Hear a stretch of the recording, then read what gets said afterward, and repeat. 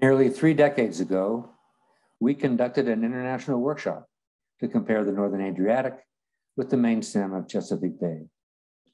The workshop and subsequent publication of ecosystems at the land sea margin, drainage basin to coastal sea, were the result of a visit from a delegation from the US Department of State to Slovenia and Croatia shortly after the United States recognized their independence. As a member of the delegation, I was tasked with focusing on marine science and mariculture. After meetings with the academies of science from both countries and in collaboration with the Alenka Malej and Nenad Smodlaka, we decided to one, assess our current understanding of nutrient inputs and their impacts on the two ecosystems. Two, identify priorities for future research and monitoring. Three, facilitate the development of cooperative research programs and the transfer of information and technology. And four, establish closer linkages between environmental science and environmental management. The workshop led to a collaboration among scientists from Austria, Croatia, Italy, Slovenia, and the United States to publish the first comparative analysis. Three basic scientific questions were addressed. One, how are land use patterns reflected in the pathways and rates of nitrogen and phosphorus export from land to coastal water bodies? Two, how do the physical characteristics of those water bodies, i.e., their size, shape, and circulation regimes, influence the effects of nutrient enrichment? And to what extent can changes in fisheries be related to changes in water quality, as indicated by accumulations of particular organic matter, oxygen levels, salinity, and toxic algal events? The comparison has yielded interesting insights to these questions. At the same time, the workshop also illustrated the inadequacy of current knowledge as a foundation for understanding and predicting the effects of land use practices on coastal aquatic ecosystems and the resources they support.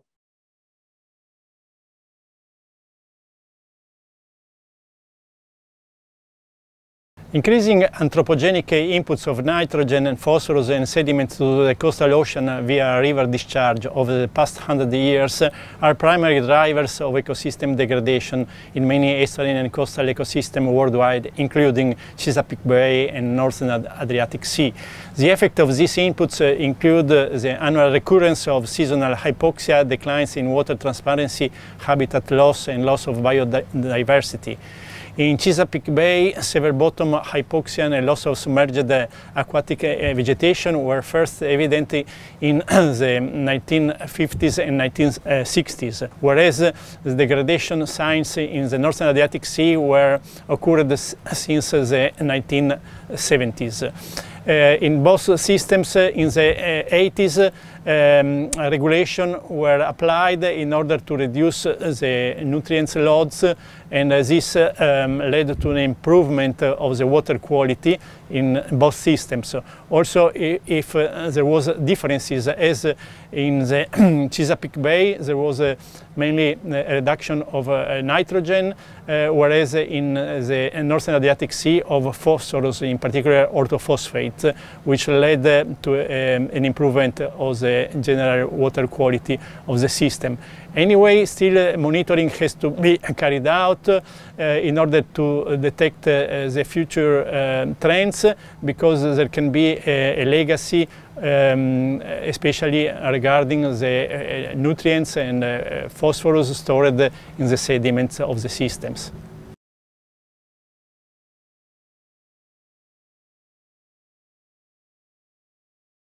We physical oceanographers have been looking at changes in the circulation of the northern Adriatic and Chesapeake Bay associated with climate. In contrast to the ecosystem, these changes may seem subtle, but they're likely to have substantial effects. Sea level rise will increase the long wave propagation speed, and freshwater inflow, which drives flows in both water bodies, is going to change. The most consequential change is in the primary driving force, the wind. We've cited decreases in the Bora and increases in the Scirocco in the northern Adriatic. In Chesapeake Bay, we're concerned with increases in frequency and intensity of hurricanes. Clearly, these must be tracked into the future, and to that end, a conclusion of our paper is that Ming Li and I ought to travel to visit our friends in Slovenia to discuss this further.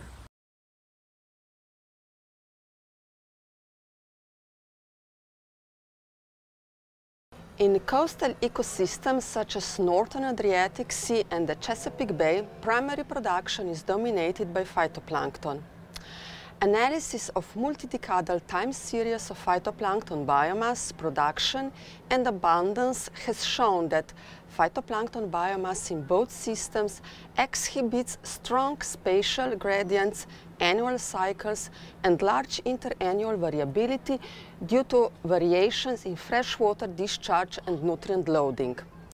Phosphorus is generally considered the most important limiting nutrient for phytoplankton in northern Adriatic, whereas in the Chesapeake Bay, either phosphorus or nitrogen can limit phytoplankton growth. In both systems, nutrient loading has reduced in recent years, but a reduction in chlorophyll and productivity was observed only in northern Adriatic, while no such change were observed in the Chesapeake Bay. This was implied that oligotrophication is now underway in the northern Adriatic. Despite comparable nitrogen loads, the Chesapeake Bay is more efficient at converting nutrient inputs to phytoplankton biomass and production. Quantifying phytoplankton responses to nutrient load reductions will continue to be an important priority for future research in both systems, as will responses to changes in climate and other stressors.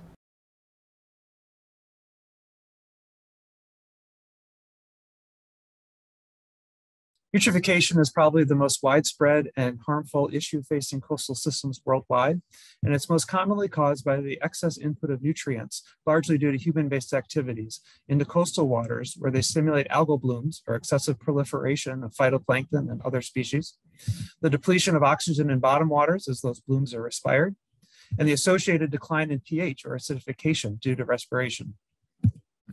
We synthesized the most recent data on eutrophication status in both systems, and we found that system-specific characteristics make the Chesapeake Bay much more susceptible to eutrophication than the Northern Adriatic Sea. That said, both systems have exhibited numerous symptoms of eutrophication in the last several decades. The most recent data indicate that nutrient inputs have begun to decline in both systems, a process we call oligotrophication, with mixed results to date. And so we recommend that future research is needed to continue following those recovery trajectories and to understand how they interact with the myriad of other stressors occurring in coastal systems, most particularly climate change.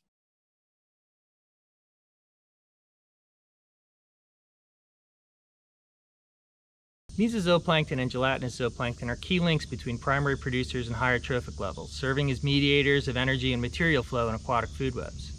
Over the past few decades, dramatic changes have occurred in both the mesozooplankton and gelatinous zooplankton communities in the Chesapeake Bay and in the northern Adriatic Sea.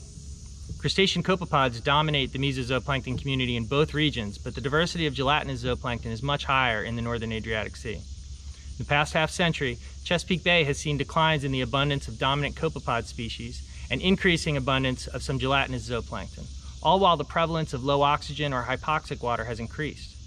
In the Adriatic Sea over the past few decades, non-indigenous species of mesozooplankton and gelatinous zooplankton have been observed and in some cases have come to dominate the zooplankton communities. Because of their important and changing role in the food web, systematic and consistent monitoring programs for mesozooplankton and gelatinous zooplankton are needed to support resource managers and stakeholders to develop indices of ecosystem health, water quality, and marine resources.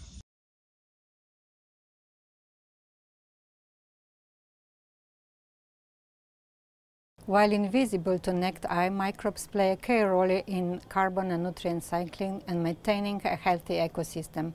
We synthesize current knowledge on interannual variability and secular trends in microbial ecology of the Chesapeake Bay and North Adriatic Sea.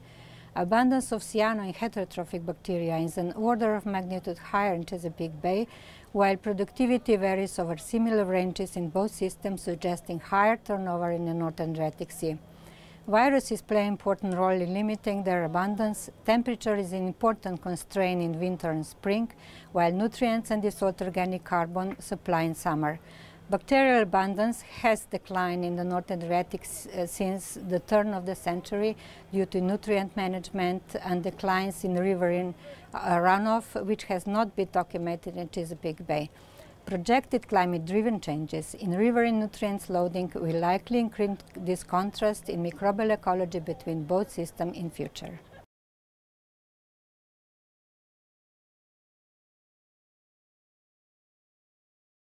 Pelagic benthic coupling is a concept that aims to link processes happening in the water column to sediments. And for example, imagine you had high primary production in a water column, which led to deposition of organic material to sediments, some of which was remineralized, and then some of that remineralized nutrients went back to the water column to support higher primary production. These, the rates involved in this type of cycle are what we aimed to compare between the Chesapeake Bay and the Northern Adriatic Sea. A highlight of our budget was that we found that phytoplankton production was much higher in Chesapeake Bay, owing to its higher nutrient rates, and therefore there was higher deposition to sediments. And importantly, the ratio of this recycling to deposition was similar. So despite big differences in the rates, the relative recycling rates were comparable. Just to summarize, our analysis was possible because we had multiple rate process measurements to synthesize in both systems. And to address the impacts of future climate change on these systems, we consider that these rate processes are essential combined with numerical simulations to improve our understanding of pelagic benthic coupling.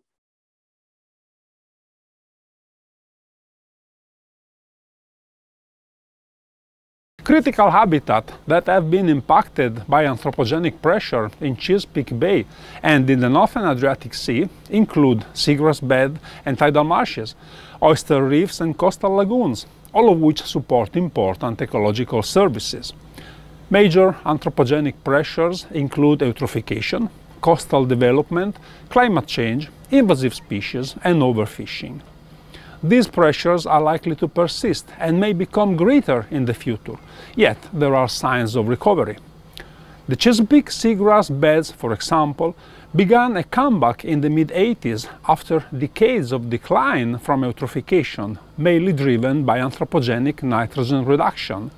And in the northern Adriatic Sea, eutrophication in lagoons led to episodic bottom water anoxia and a shift from benthic to pelagic primary production. But following nutrient reduction over the past two decades, there are signs of recovery of canopy-forming algae along the eastern coastline of the sea and of seagrass beds in western lagoons.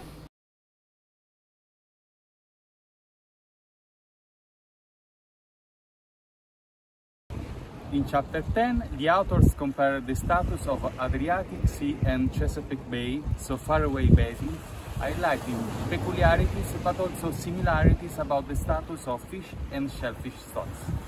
For example, the fisheries in both sides are heavily exploited with some overfished fluctuating in the last three decades. In particular, the landings increase in the Adriatic Sea and decrease in Chesapeake Bay, but in 2016, landings were roughly equivalent between systems and estimated at about 200,000 tons per year. Other aspects affect the target species. In fact, in the Adriatic fishery exploit several small pelagic species, and invertebrate fisheries involve a variety of crustaceans and mollusks.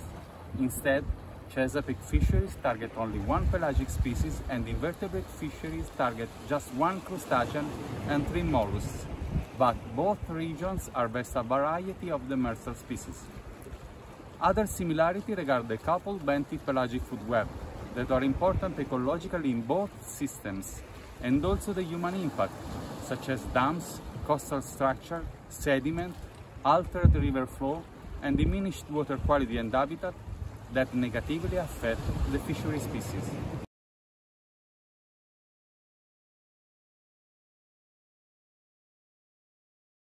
The health of coastal ecosystems, including Northern Adriatic and Chesapeake Bay, is threatened by various anthropogenic pressures, including pollution, overfishing, coastal development and loss of critical habitats, invasive species, climate-driven warming, sea level rise, and acceleration of the global water cycle. Synergistic effects between anthropogenic stressors should also be highlighted. For example, anthropogenic nutrient loading and warming act synergistically to amplify the spatial and temporal extent of hypoxia, while increases in hypoxia enhance climate-driven acidification. Similarly, they may influence the frequency of toxic phytoplankton events and jellyfish blooms. These pressures not only impact ecosystem health, but also reduce their ability to provide ecosystem services from fisheries and resilient communities to biodiversity and carbon sequestration. It is important to note that since the publication of the first book in 1999, there have been some significant developments in environmental regulations on water quality in the two marine systems, Chesapeake Bay and Northern Adriatic. As a result of the managed reduction in anthropogenic nutrient inputs over the last three decades, eutrophication has gradually declined in both systems and habitats are showing signs of recovery. However, achieving water quality goals remains a challenge and in addition, advances in scientific understanding and predictability of changes in ecosystem state require sustained monitoring and modeling that support ecosystem-based management.